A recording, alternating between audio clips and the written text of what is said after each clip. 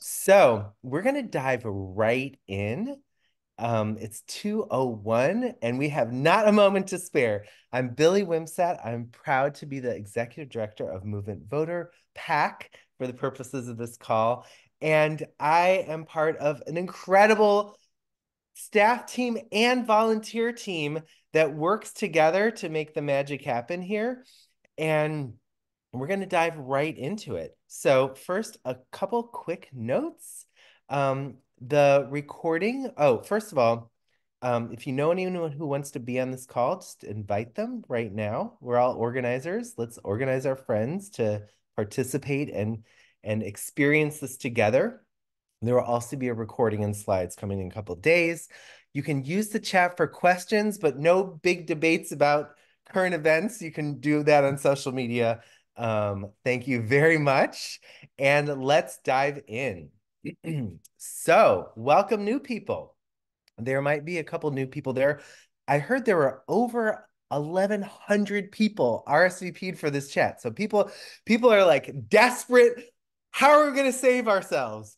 You come to the right place. So if you're new to MVP, Welcome. We support hundreds of local organizations in all the key states and districts to engage tens of millions of voters to win elections and transform policy.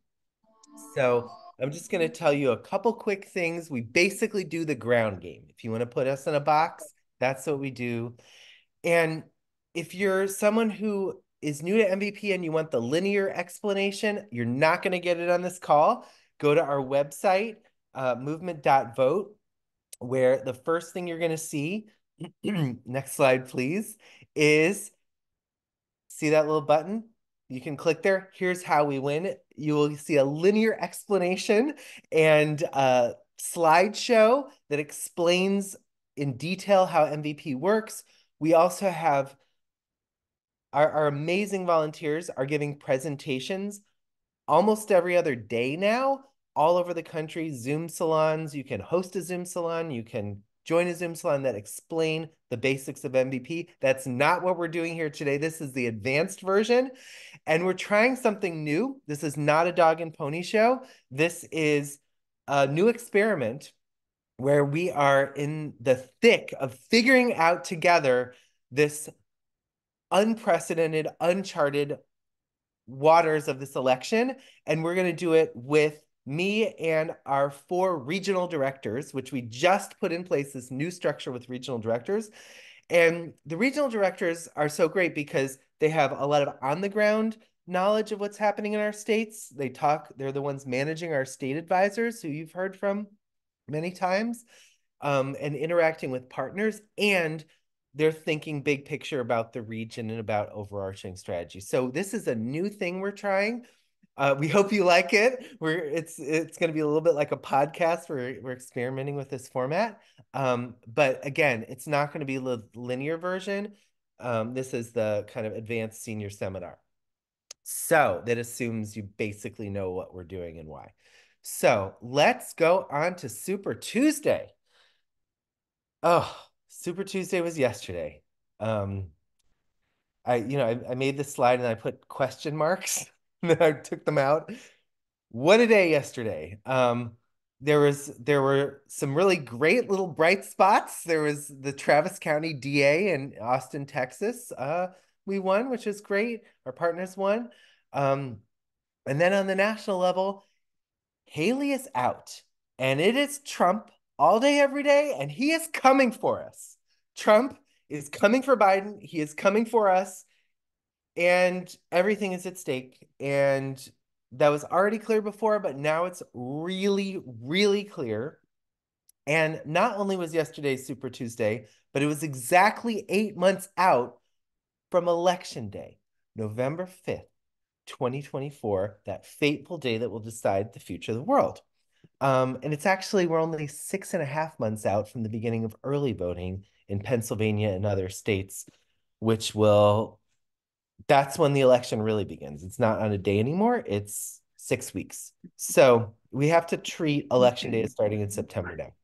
Um, and here on out, the Trump campaign is coming for us, and I don't need to tell you how truly horrifying it would be um, and everything we have to do to pre prevent it. I pledge to you, I don't even need to pledge. Like, I wake up every morning thinking about how we're going to win. I go to sleep every night thinking about how we're going to win. And every time in between that, I'm thinking about what are all the things we can do to pull out all the stops to win, all the basic things, and, and then creative additional things.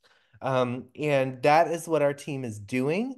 Um, and yesterday, in addition to being a big moment uh, for Trump on, on that side, um, was a big moment for the uncommitted movement.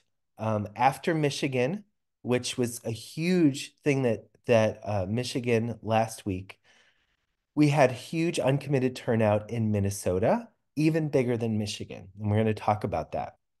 And we're in this kind of confusing place where we're both in the heat of a general election and in some ways we're still in a primary election on the democratic side between biden and uncommitted right so we're holding both of these things and it's very disorienting to be doing both things at once but that is what we have to do we have the most elect important election of our lifetimes and we have a huge movement moment around ceasefire to stop this horrifying situation that is happening in gaza um, it's excruciating. And so we're holding both of these things. And how do we do that? We are Movement Voter PAC, right? Movement voter. We do movements and we do elections, and sometimes they go together really well, and sometimes they're in tension with each other. And that is what we do. We work at the intersection of these things. And this is the biggest kind of adaptive challenge that I've ever been a part of is helping these movements come together. And we've seen how this worked, versions of it like the Bernie campaign and the Warren campaign coming together with the Biden campaign, pushing really hard in the advocacy phase, which we're in now, and then coming together to stop fascism, to stop our common opponent in the fall. So that's what we're doing. Uh, if you didn't read the piece I wrote about what happened in Michigan last week, it lays it out in a lot more detail. Uh, we advocate, we vote. That's how we win. Um, so our backs are to the wall, and out of necessity comes invention and genius. Our multiracial democracy is threatened. It's very personal for all of us what this means. It's I just uh, heard about a study, you know, for I'm Jewish. What keeps Jew, Jewish people safe? Multiracial democracy. And our multiracial democracy has never been more threatened. And I'm just going to say, I am not going to let them take this away from us. Like, we cannot let them take this away from us by our ancestors, by everything. We cannot let them take this away from us. So that's what we're here to do. Um, is protect ourselves and protect each other and protect the beautiful future we're trying to build together and do it with all of each other you know, so what are we going to do? How are we going to win? We're going to do this. Um, first of all, I just want to say really clearly, we're going to continue supporting all of our local partners to do their biggest, best work, including our Arab and Muslim partners and our youth partners and communities of color, as well as white working class and cross-pressured voters. It is going to take all of us, okay? We're going to do the biggest investment we've ever made in the youth vote uh, which is we're right in the middle of figuring out how to create an even bigger plan with our youth strategy because youth are everything. Young people turning out, we win. Young people not turning out, we lose. That's a huge, huge part of the equation. So we're talking with our partners and strategizing. We're doing all this strategizing behind the scenes with our partners about how we we show up in this moment. Um, and just huge props to all of you who've been showing up with us. Dozens of you have made your biggest political investments or your biggest charitable investments ever. And we need hundreds more people to see that this is the moment. We have to do it. We have to do it now. And also, huge, huge appreciation to all of you who've been volunteering. We have local MVP teams. Um, we have four really strong local MVP teams two in Massachusetts, one in the Seattle area, one in the Bay Area. And we're in the process of building about five more in Chicago, in Washington, D.C. There's a new one forming in Rhode Island. There's a new one forming. There, we're talking about them in several other places. Um, so come be a part of this. There's nothing more important for any of us to do this year. And we welcome house parties, co-hosts, volunteer teams, and just to get right into what we're doing actually to win, let's talk about what we're going to do. Here's the map. And yeah, how are we going to win this fall? Here's the map. None of this is rocket science. We know where the battlegrounds are.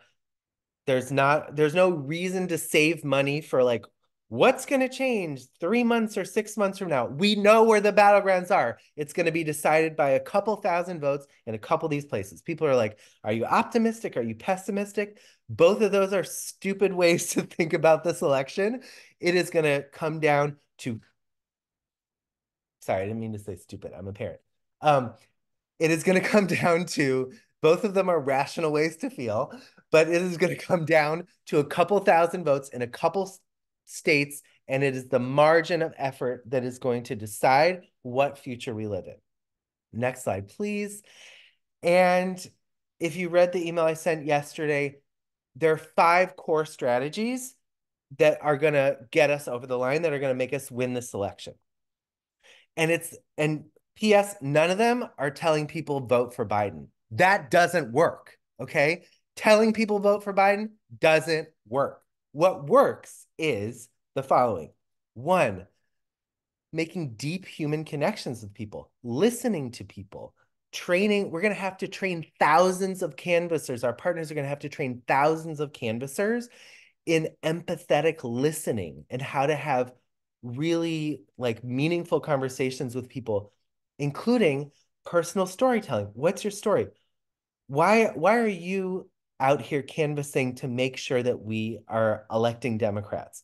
What's the deep story behind that? We have to have real conversations in both directions that start with storytelling and listening. That is the foundation. That is not what any of the big campaigns or any grass tops things are going to ever do. That's not what they do.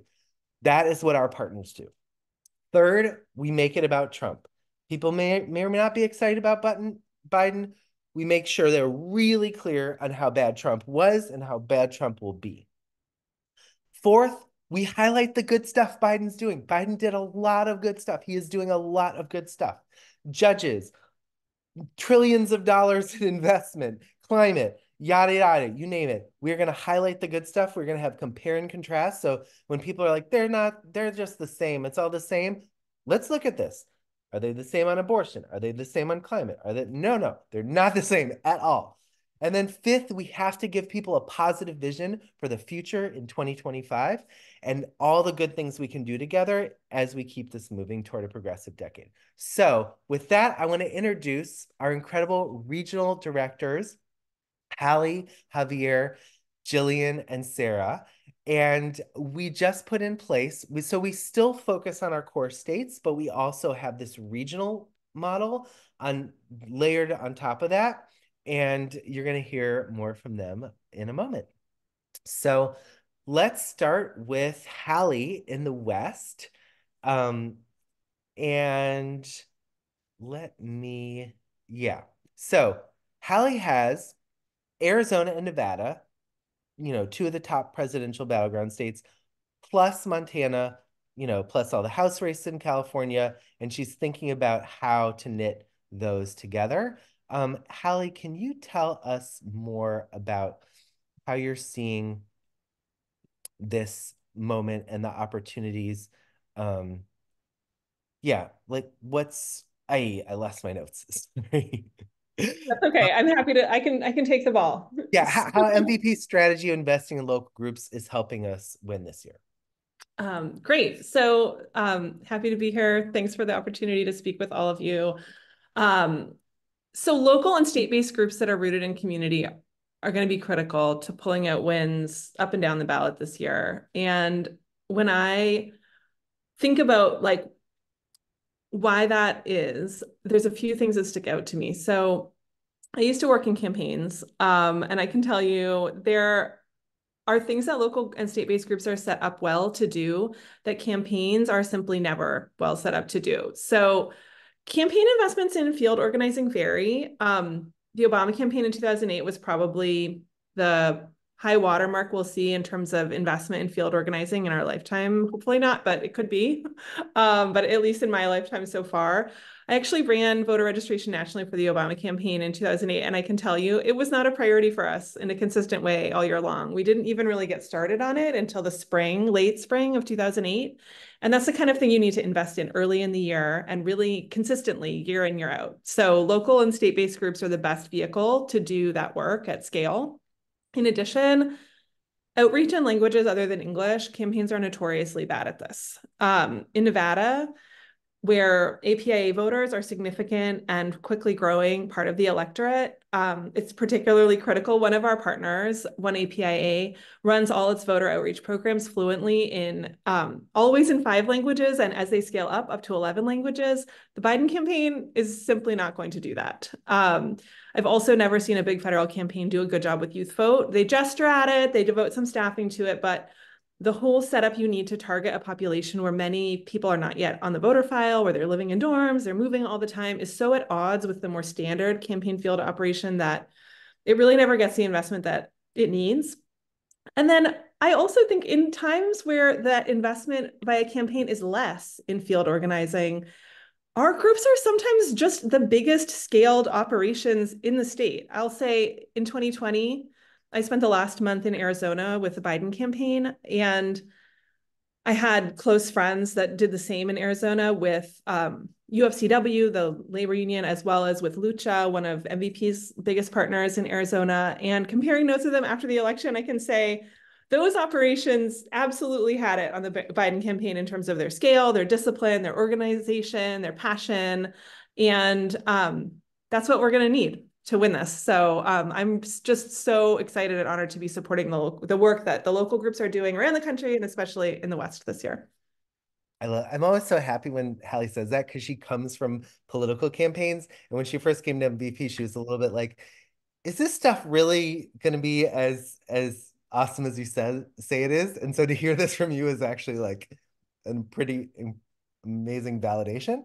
Um, so, okay. So going to the South, um, I want to, to bring in Jillian. So the South has been obviously this huge site of voter suppression, you know, super racist uh, situation that has been going on for a long time. But, um, you know, and you have Georgia and North Carolina as well as the rest of the South. Talk to us about how you are thinking about uh, countering this and the situation in in your states, uh, starting with a focus on Georgia, and North Carolina.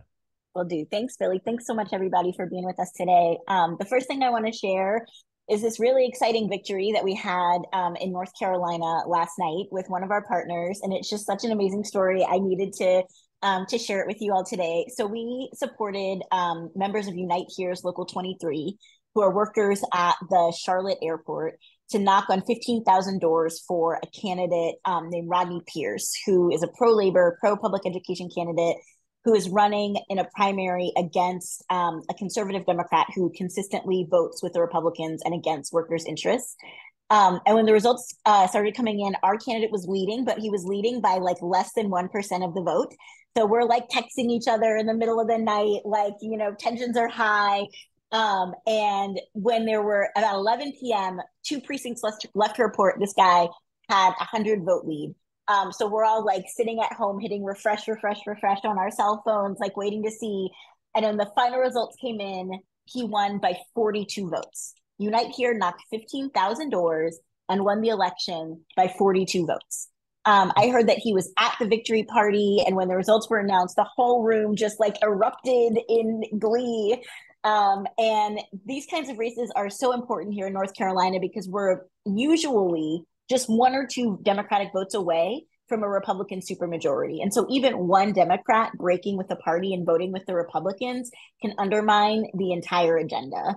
Um, I'm also really excited about Unite Here's presence in the state. They have an incredible field program in other states. And so we're in a small membership here in North Carolina. So we're really investing in them um, and an opportunity for them to grow and are excited to have them bring their successful political program um, here to North Carolina. Um, we are also quadrupling the number of doors that we are knocking this year across the state. Um, our scaled up field campaign Wait, did you say quadrupling? I sure did, Billy. Four times, four times as many doors as we've ever knocked before, almost four million doors across the state. Um, and it's not possible without um, our partners who are taking huge chunks of that door knocking um, of that door knocking lift. Also bringing in outside um, state partners like Unite here who have members or have a are interested in coming to North Carolina. Um, and it's not going to happen without a huge increase in investment here um, here in the state. Groups are already on the doors, and at the same time, they're raising money to keep being on the doors. Um, so it's just it's a really exciting moment here in North Carolina. Um, in addition, in Georgia, um, we've got some incredible groups on the ground. Uh, and we found out, you know, here in North Carolina, we we everybody watches Georgia, but we watch Georgia, I think, maybe more than than some other states, um, because we we are we are excited. We want to be them. We want to be Georgia. Um, and their scaled up field operations were critical to their Senate victories that they've won recently. And when we saw Georgia folks knock 5 million doors for a runoff, we were like, we need to do that too. Um, one of the fastest growing communities in Georgia um, is the AAPI community. And um, one of our partners, Asian American Advocacy Fund, is leading a shift towards base building, specifically in Gwinnett and Cobb County, which are in central Georgia, um, to turn out AAPI voters. And so, as we're seeing the South change, these shifting demographics um, in our communities, we've got groups on the ground who are able to reach people in their own languages with culturally competent outreach materials to bring those new communities um, and those growing communities into into our big tent movement um, and build the the skills, the narrative skills, and the the field skills that we really need um, to turn out voters. So there are no more trusted voices than our partners on the ground. They are by far in the best position to inspire and encourage people to come out to the polls.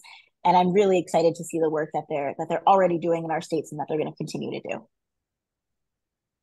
I love it. I, I remember you saying like God, we got to bring Unite here to North Carolina. I've and, been saying it for years.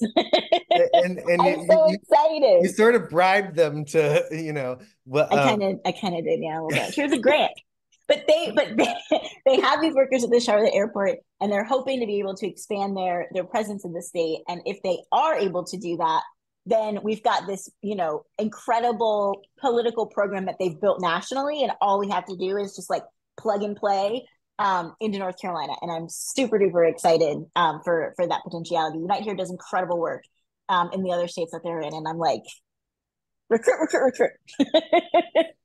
I love it. Okay, so we're gonna bring in Sarah, um, who's responsible for the Northeast. Um, so obviously, which includes Pennsylvania, but you also have the battleground of New York and a possibly scary new Senate race in Maryland, and of course your home state, New Hampshire which has the only other competitive governor's race as well.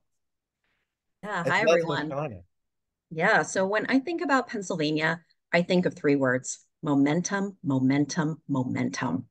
Pennsylvania went blue in 2020. We've seen electoral wins over the last five years in Pennsylvania, culminating with last year with our Supreme Court work with many partners to win that seat on the Supreme Court race. But I also think too about all the work that needs to happen between now and November in order to continue that momentum. Know, we're spending time engaging voters on the presidential, expanding engagement of the electorate in really significant ways in terms of both demographics and geography. And we're also working in election administration places, you know, particularly the vote by mail work. I think, you know, across the country, um, Pennsylvania inclusive in 2020, we saw the boom of vote by mail. It went down understandably a bit in 2022 as the COVID um, decreased, but is still an important force in Pennsylvania. And so as we think about all the work that's happening in Pennsylvania, we're thinking about expanding the electorate, the geographies, the demographics. We're also thinking about that really critical piece of election administration as well. Um, you know, we do have some other states, as Billy mentioned, that I think are going to be pretty important as we go forward. Um, you know, New Hampshire should never be considered likely for Democrats. Um, the, it's too volatile in New Hampshire. Our largest voting bloc here identify as independents. And in a state with so few voters compared to other presidential swing states, the smallest of margins can really move the, the needle from one to the other. But at the same time, New Hampshire also presents one, one of the few competitive governor's races um, and the opportunity to break up a Republican trifecta. Um, and you, you, can imagine how I am salivating at the opportunity to break up a Republican trifecta and end essentially the reign of terror that we've had in this state. Um, I'll wrap up very briefly with Maryland and New York. You know, Maryland, their former governor, Hogan, he just entered the US Senate race, and he historically has had appeal across party lines. I worked in Maryland pretty intensively um, under when Trump was the president and he was looking to uh, attack the Affordable Care Act. And Hogan was a really important persuasion point in that in that work. And I got to tell you, this man is scary. I don't want anyone to not think about Maryland next week, next month, and in November. Um, the last thing I'll wrap up with is New York. Um, so I'm from New Hampshire, but my colleague Javier typically says, where are you from? Now, where are you really, really from? I'm from New Hampshire. I'm really, really from the state of New York. and New York is home to about a dozen competitive US House districts. You know, we won the special election there, CD3, um, in February, which is in New York City, with our partners in Battleground New York. And we have significant work to do to win the other US House races, looking at about a half dozen congressional races there. Um, so I'll wrap up and just say there's an enormous amount of work to do in the Northeast and the Mid Atlantic, but I am optimistic that the partners at MVP are uniquely positioned to get us across the finish line. Yes. And Sarah's actually one of the world's experts in advocacy in these battlegrounds in uh so she, she's like geeking out with the Maryland people about what what she learned from from these uh blue state Republican mm-hmm. governors. And uh, yeah. Okay, let's bring in the Midwest. And actually, I, I'm asking Javier to do a little bit deeper dive um, because Javier is actually one of the architects of uh, the Minnesota Miracle and also obviously is now responsible for supporting the work in Michigan and Wisconsin, which have been t- a lot in the news lately. And also, the Midwest is really our most developed region as a region. Our, our, former Minnesota director, who's now a board member, Laura Flynn, is part of something now called Win the Midwest and Organize the Midwest, which is a close sibling organization that we're working really closely together, um, which is really what we want to see with all the regions. Um, so I want you to do a, a little bit deeper dive. Um, tell us the, the story from the Midwest.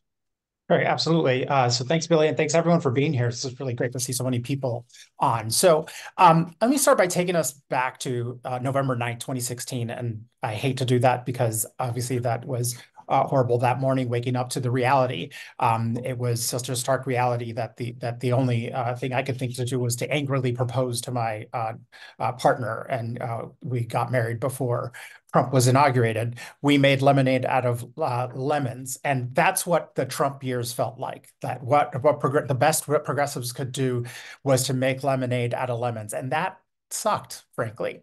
Um, uh, we want to be proactive. We want to we want to build a progressive future. And so, let me start by talking about how we uh, uh, um, in Minnesota, uh, like, um, and because I think Min Minnesota is important one, because I think it's a perfect example of our MVP model, but two, because it shows us that there's something better than uh, than making lemonade out of, out of lemons, but we can actually have a proactive uh, ha have a proactive agenda. So um, you might have seen some of the headlines. I love to brag about my state, but I'm gonna so I'm I'm gonna uh, start with that, but with a with a purpose.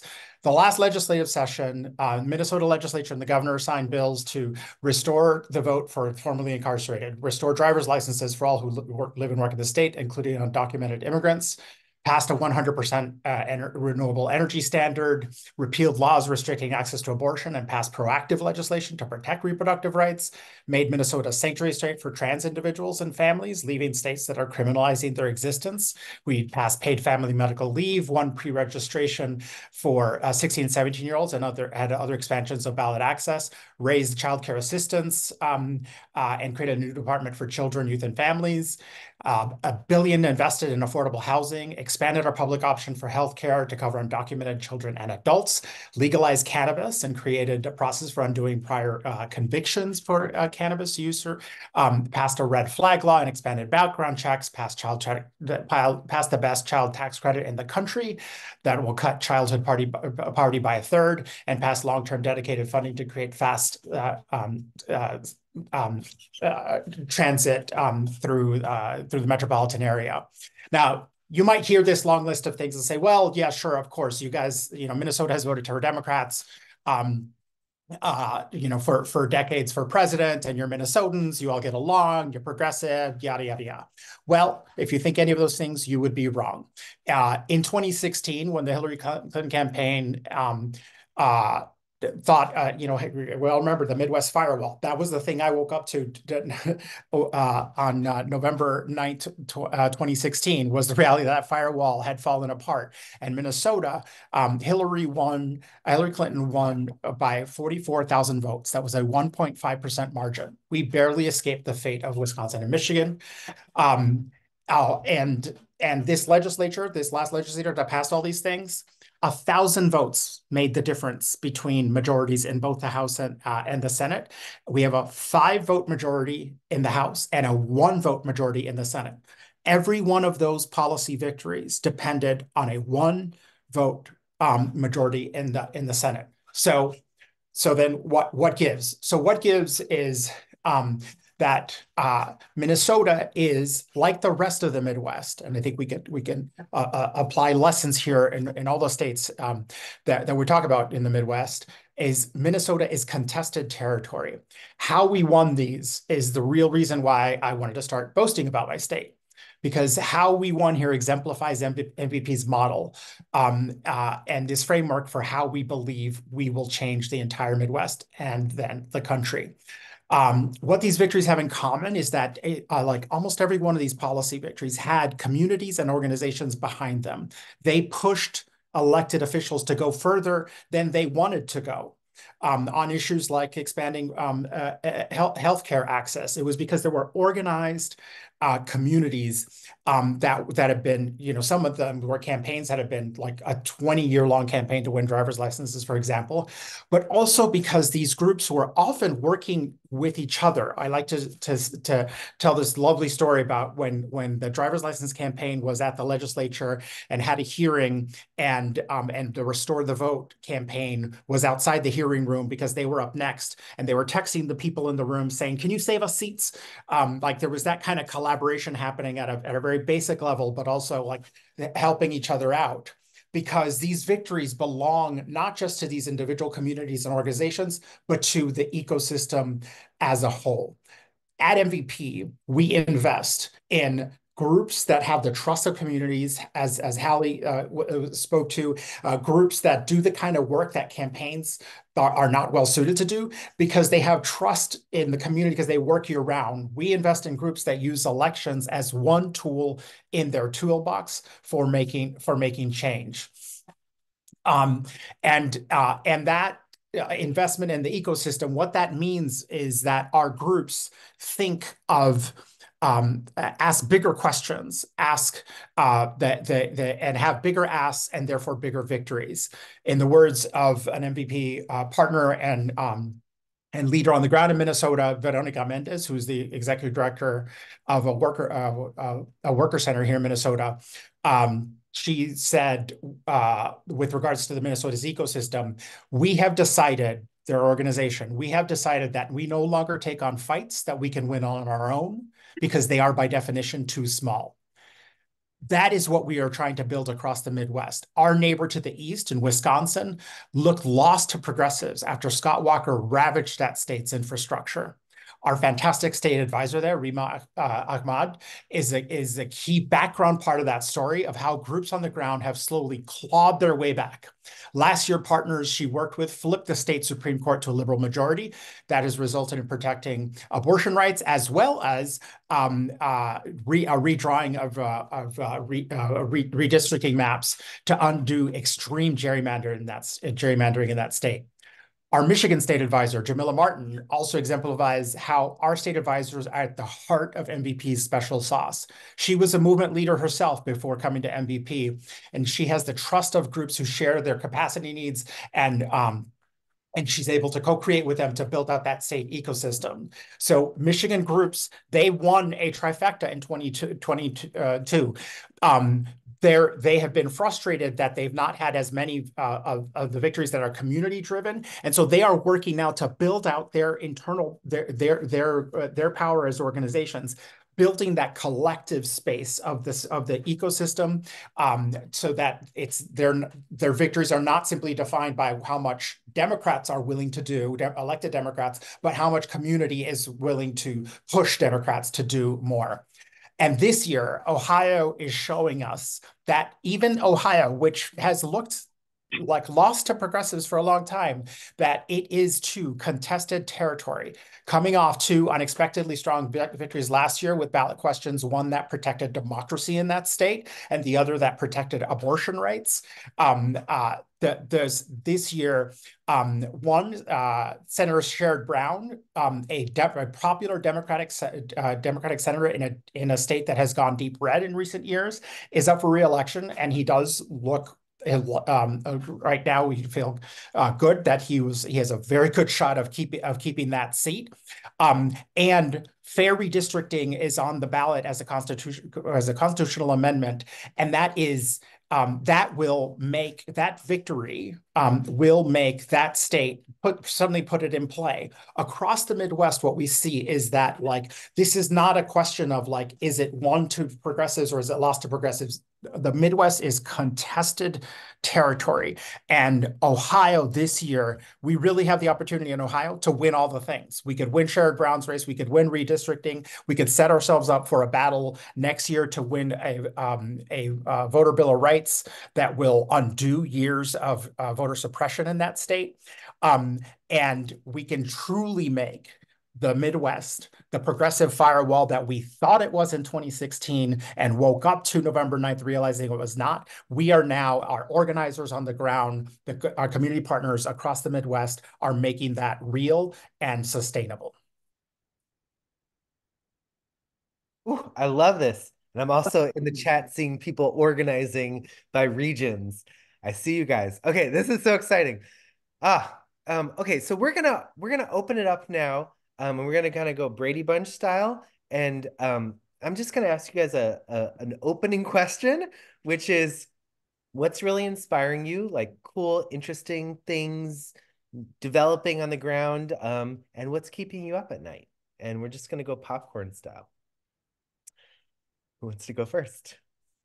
I can go first. Um, yeah, so I think the thing that's most exciting to me is just the energy that we're seeing from folks who are like already getting out into the field uh, and are and are ready to dramatically increase, you know, their field operations. question was, what's inspiring you?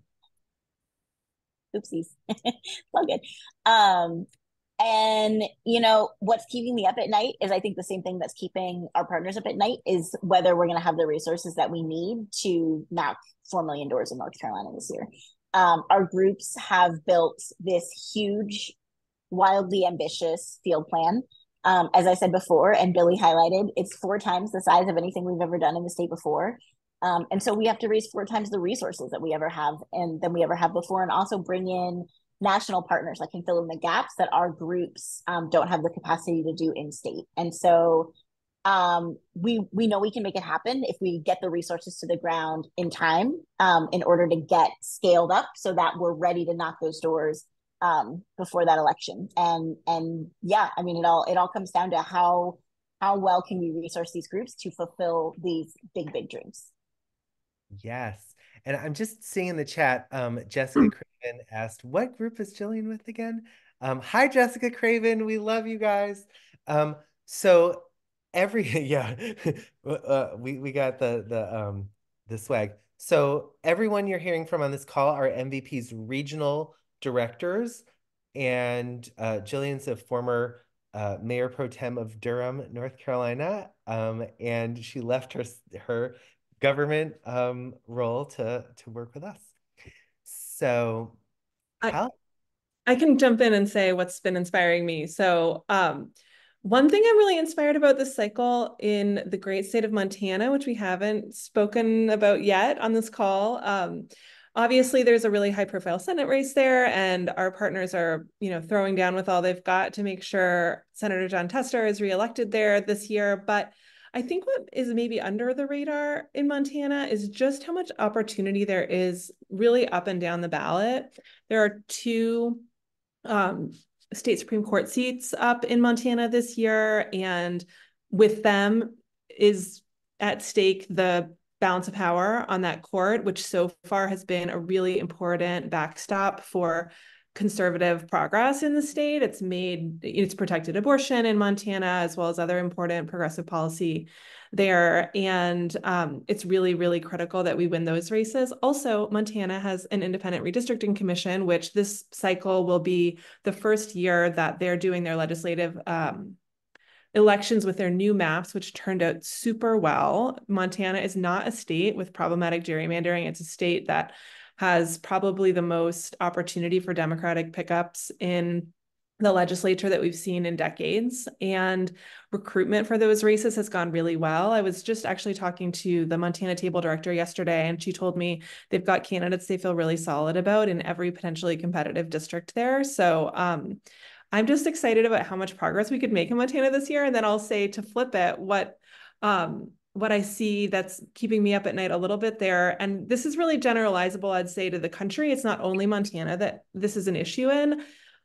You know, 2020 was a weird year for field organizing. It was COVID, like the height of COVID, and it meant that some programs were smaller. Many, you know, programs didn't go door to door in the same way that they had in the past. And then in 2022, not every state had a big cycle. Montana didn't have a big cycle in the same way in 2022. And so the field organizing leadership that they have in some cases is a little green. Maybe they've got one cycle under their belt. Maybe they're really strong raw talent that's got some organizing chops, but doesn't really have a major federal election cycle under their belt. And so making sure those folks now in the early part of the cycle get really solid mentorship, training, coaching, support for them to be able to really step up and do the jobs they need to do in the fall is really critical. I loved hearing from the Montana table that in that case, they've hired, you know, some really seasoned folks to provide that um, support and coaching, and they're doing that weekly in a cohort with all the partners they're working with in Montana. I think that's a model other states should look to, but um, that's definitely, I think, a need that needs to be addressed in the field. Cool. And, and one of my favorite things about this regional model is the cross state pollination. Like something happens in one state, and then they're like, "Ooh, did you hear about this? Oh, maybe we could help this state do it." It's like, yeah, it's oh, you guys are so great. Uh, who else wants to talk about what you're what's keeping you up at night and what you're inspired by? Um, I can jump in. I I feel like the to me what's uh, I, I well, so in 2022, MVP was one of the organizations to say that we're gonna we're gonna like not assume that red the red wave is what's gonna happen. We're gonna we're gonna fight that, and we actually like we're the organizations to say we're gonna do that, and to be could could say like, hey, we we we set out to do this, we did this. I feel like this year progressives just nationally, we are everyone is rightly scared. We do not want a repeat of November 9th, uh, 2016. We don't want to wake up like that ever again. And but I and I I fear that we're being we're perhaps being too on defense not thinking of like that we need to be be be be planning for proactive uh, uh, policy making and and progressive victories into the future, but at the same time understanding that and and, and I it's a conflicting feeling. I was just telling to saying this to Billy this morning. Like I feel like we're being maybe too defensive, but but also not defensive enough. Like the Midwest is contested territory. I like uh, the thing I get nervous about when I lay out all those victories in Minnesota is that the people hear that and say like check that off. Okay, fine, Minnesota's good. Minnesota is contested territory. The recent polling in Minnesota has it very very close. Hillary Clinton close. Um, so uh, so what keeps me up at night is just this uncertainty about what is the what is the battleground going to be? How, is it going to be a wide map for for us or or or a, a small map? And I think we have to be prepared for lots of different scenarios. Yeah. I'll wrap up that the thing that's um, uh, keeping me up at night, but also inspiring me at the same time is the fragility of our democratic processes and our democratic institutions. We've seen how fragile they are. We've seen them under attack by, by the right. But what, what inspires me, though, is the work that our partners are doing to ensure our democratic processes are, are accessible, safe, and have integrity. You know, I think about Pennsylvania and the passage of automatic voter registration after years and years and years of work. I think about in New Hampshire how MVP is funding work for the upcoming town elections in March, where voters will choose who their election administrators are for November. So here, that's the kind of forward thinking and proactive work you can expect out of MVP, to be thinking about who are the people in November that are going to be running our elections and how do we make sure in March that those right people are elected. Okay, I love it. Oh, so time check. We are um we get we're getting toward the end of time and I have lots of questions.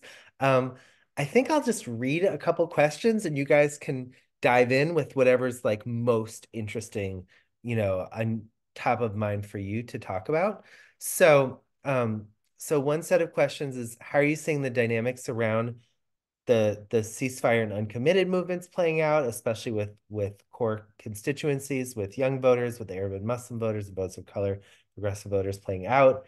Um, and parallel to that, um, how are you seeing organizations work working on a whole range of issues on abortion rights, on climate, on LGBTQ rights, and electoralizing those issues, um, and how they're planning to to do the the two step with that at the polls. Um, also really interested to hear more about your ecosystem organizing and what a good healthy ecosystem looks like um, and just the unique dynamics of this election and how you and the partners are are preparing for it um, so i know that's a lot of questions but uh basically start, lots of prompts to give us your most interesting stuff I can start with so uncommitted. So last night in Minnesota, um, uh, um, uh, uncommitted received uh, over 15% of the statewide vote and in two congressional districts winning probably three delegates to the national convention. I know that makes some people nervous. I've seen some of it in the, in the chat. Let me tell you why it does not make me nervous. So this happened organically in Minnesota after, I think, largely as a result of the headlines coming out of, out of Michigan. People frustrated. If we think about the other party, the other party has become beholden to a base that that that demands more and more extremism of them. Our base is participating in the democratic process to tell the president that they disagree with the policy direction. I think that is fundamentally a good thing. We are movement voter project, as as uh, Billy, Billy said earlier, and what we have this year is a persuasion problem that we need to. That that's what we're solving for, and every persuasion problem is solved by organizing. We don't we don't solve it by saying, okay, well, we'll just take them off of our off the list of people we'll talk to. No, that's the that like whether we want it to be there or not the reality is is that this mo- this organizing is happening. And what it is it is mobilizing people who are otherwise frankly depressed. They are very sad. A lot of like muslim voters are feeling that that, that dehumanized feeling like this, this like that the country is not respecting uh respecting lives. And and what, what however one feels about these issues uh, about and about the war and all this that that feeling in the in community is just something it, that is the persuasion issue that we have to that we have to address. So to me i take a lot of inspiration from the fact that people are choosing that as the path to to make their voice heard um, because that is an opening point that is an entry point for the conversations that need to happen for persuasion to happen.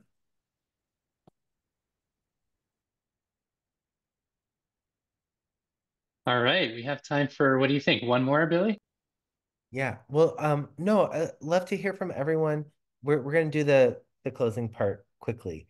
Um, so yeah, when uh, why don't we just do kind of closing thoughts of what's what's most uh, kind of big on people's minds.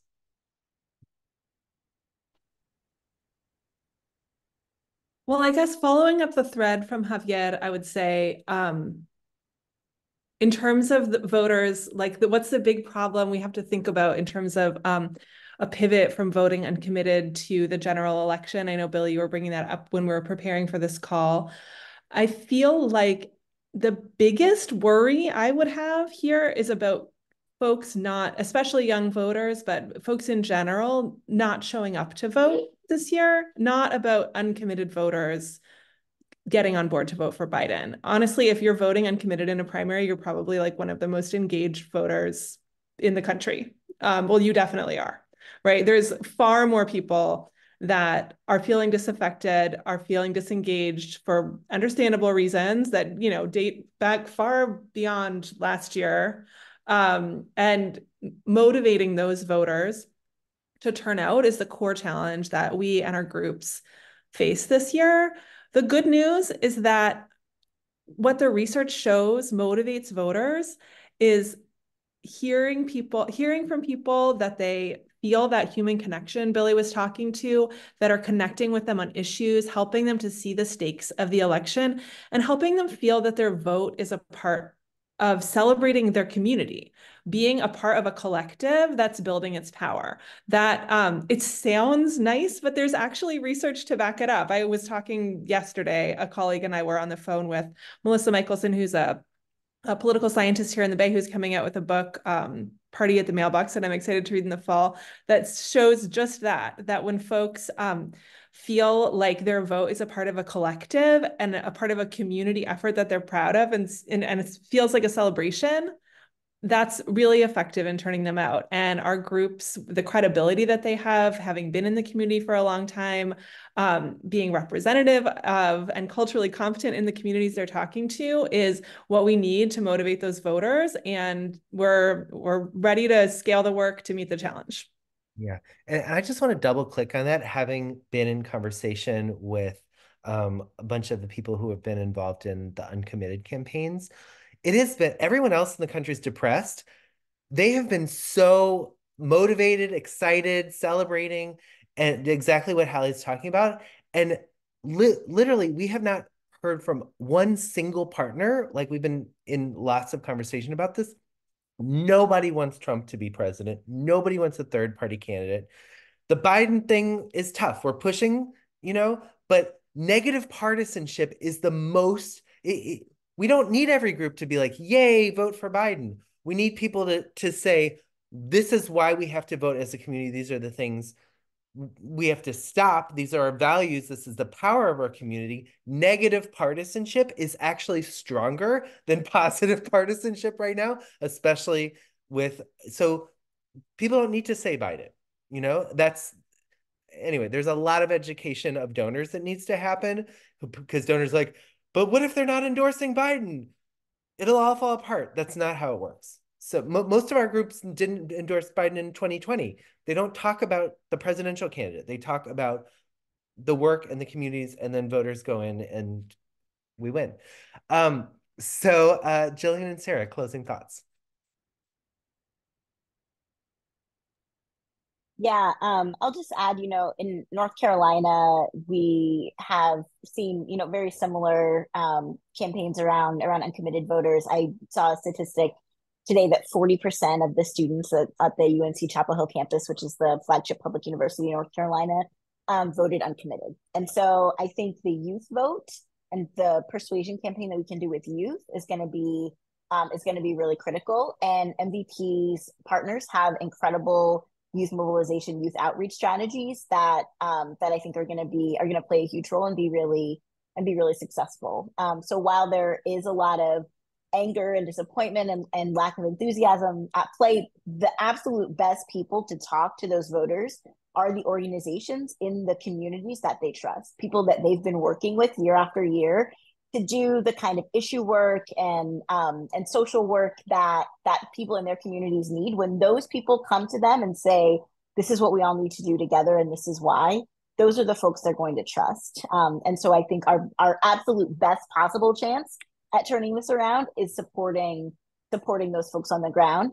Um, and also to really you know understand like our young people are sending a really powerful message. Like they are telling us that the actions of our government are out of alignment with their ethical values and their political commitments. Um, and it's important that we listen to them and that we hear them. At the same time that we are motivating and engaging them to continue to build um, to continue to you know to take the actions that we need to take to build the best possible world for all of us, which is to go to the polls and vote for the Democrats. Yeah. And Sarah, um, I'll let you have the last word and then we'll have a special closing. Yeah, thank you. Um, you know, I, I'm really excited about what I'm already seeing is the impact of early dollars in the field. I'm looking at Pennsylvania. Pennsylvania is a state that historically most of the work has happened in Philadelphia and Pittsburgh and some of those surrounding urban spaces because of changing demographics and the way that Pennsylvania is evolving, so many of our groups now are moving into other spaces. And what I'm seeing is early funding, uh, allowing our partners to be in rural communities, engaging BIPOC voters, young voters. Those are some of the most persuadable voters within rural communities in Pennsylvania and across the country. And I'm seeing the impact of the early dollars already. This work now is going to make our work down the road much easier and much more effective. So thank you. Thank you. Okay, let's bring in Julia Johansson. Thank you. Just give a lot of love to our incredible team. And welcome, Julia. So we are like, hmm, um, let, us have a donor talk about about how you're seeing this election. Um, and someone's like, Julia Johansson. We're all like, yeah, yeah, yeah. Um, and Julia, um, let's go back to slides for a second. Um, I just want to say really quickly, yes. Um, so Julia runs Impact Collective, which you'll see the mission is a closing the racial wealth gap, basically. Um, and in addition to that, she supports MVP. Um, so we just want to hear your like fresh uh, reflections on this and uh, want to encourage everyone else to reflect as Julia's talking as well. Thank you, Billy. This is once again deeply inspiring. I every time I have the opportunity to be with MVP, I feel inspired um, and really moved. I, Hallie, Javier, Jillian, Sarah, thank you. I we this work is so incredibly important, and I was thinking about speaking this morning and thinking about while you all were speaking about how inspired I feel, and yet I know that tomorrow morning I'm going to wake up and I'm going to scroll through the New York Times or I'm going to turn on NPR and I'm going to feel overwhelmed and I'm going to maybe feel paralyzed. And I assume that um, others on the call feel that way as well. This is a really, really overwhelming political environment and cultural environment to live through.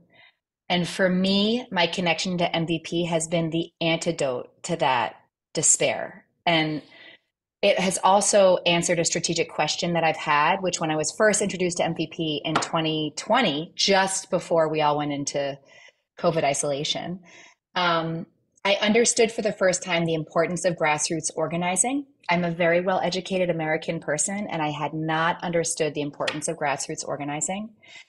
And I had not ever understood that I could somehow be connected to grassroots organizing. And the way that I can connect is through MVP. So for me, it was like a huge light bulb moment and opportunity. And I think about all the incredibly inspiring things um, that Jillian was sharing in particular, like when you think about how can I here in my home in Brookline help get 42 more votes in North Carolina? How can I help get 4 million more doors knocked on? How can I not have to go to bed thinking about this every single night and wake up thinking about it every single night, which Billy does? How can I sleep well at night? How can I combat the paralysis and overwhelm and despair? I do that by giving to MVP and giving really generously and giving early in the cycle and giving every year. That's how we can do it.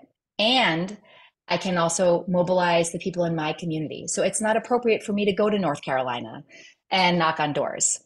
Um, we might have lovely conversations, but I'm not the best person to do that. I am the person to organize the people in Brookline, in Boston, in the various networks, alumni networks, professional networks neighborhood networks that I'm tapped into, that's the work that I can do and that I really, really want to do. And I loved just closing with Hallie's idea of how your your vote, when it's part of a collective that is connected and moving forward together, is something you can feel really good about. And I was sort of giggling. That is exactly how it feels for me when I donate to MVP.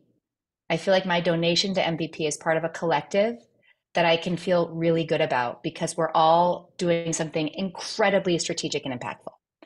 So thank you for being here. Billy, thank you for your incredible inspiration and give, give, give and spread the word about MVP. People are here to help you plan parties virtually, in person, coffees, cocktails. Doesn't matter. We want you to bring all your people to us and spread the word and have them open their credit cards like Larry was doing and their checkbooks and their wallets. Thank you so much. Yes, Julia, thank you. You know, we're on um in the 2020 cycle, we had close to 500 events in that cycle and we're getting close to our first 100 now. So just as Julia said, there there's a place on the website where you can sign up and say I want to have a Zoom party and introduce MVP to people. we have volunteers who um, have created a deck who can train you how to present it. And we're going to do this together, just like the organizers are doing it. Just like Julia said, it's our job to organize everyone we know. We hold hands, we jump, we win, we have a better future, yada yada, and um, we we can then celebrate. So, um, as is up on your screen, movement.vote slash party. You can do more than donate. And if you are haven't already figured out how to make the biggest investment ever, go to that slide. Um, you talk to your MVP liaison. If you don't know who your advisor is or can't remember which one is the person, um, you can just email advisor at movement.vote and we'll either get you an advisor or plug you back in with your advisor here. We, our job is to be honest brokers to help you move your money to the best place um, you can move it to. Um, either as part of a pool or if you really want to invest in Georgia or wh wherever you want to invest, we are here to help you do that. So go team. We're going to win this together and um, happy eight months to go. And let's make this happen. Thank you, everyone. Thank you, everyone on the MVP team, all the volunteers, all the staff, all the donors, all our partners. We're building the beloved community together. And um, you know, what what more can I say? Thank you all and go team.